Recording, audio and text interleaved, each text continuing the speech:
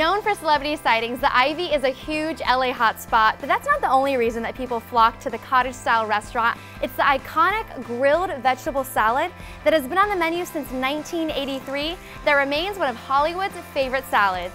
Join us on Get the Dish. Find out the secrets behind the signature dishes at famous eateries and how you can recreate them at home. The Ivy restaurant has some huge A-list fans, including Reese Witherspoon, Rihanna, Jessica Simpson, Victoria Beckham, and Gwyneth Paltrow, who actually created her own version of the salad in her cookbook, My Father's Daughter, and that's actually the recipe that I'm gonna show you today. It starts by grilling our vegetables. So in a cast iron skillet, I already have my zucchini, corn, and some scallions, just a little salt and pepper and a little bit of oil. And then I'm gonna go ahead and add my salmon. A little oil and some salt and pepper.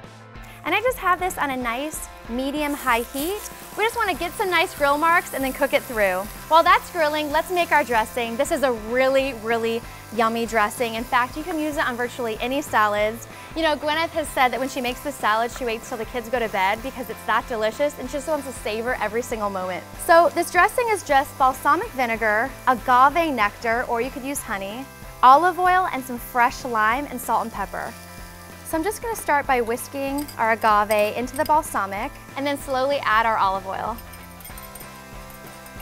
You know, a great little tip for this dressing is just put it all in a mason jar and shake it up.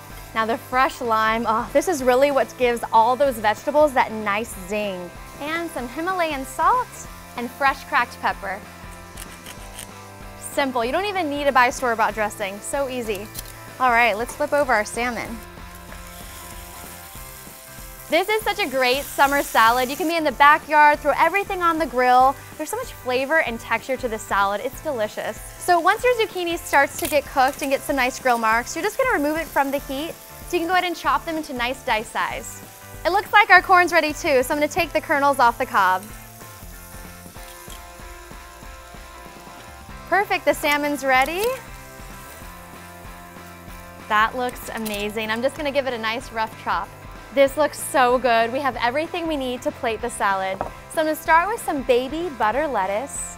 Next, I'm gonna top it with all of our grilled vegetables. Look at those grill marks. Then our scallions. Next, our beets. And you know, you can buy beets raw and boil them, but they also sell them already boiled. Then cherry tomatoes. Oh, the salad is so beautiful. This is definitely one of those salads that you eat with your eyes. Now I'm just gonna top it with the salmon. And then drizzle with the dressing. And serve with a little lime in case you want that extra tart zing. Wow, this salad looks incredible. It's so delicious.